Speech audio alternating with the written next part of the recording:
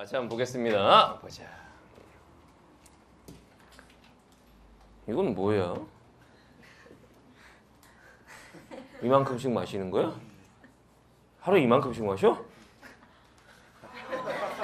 야, 우리 곰탱이는 파워에이드를 1.5리터씩 하루에 한 개씩 마셔?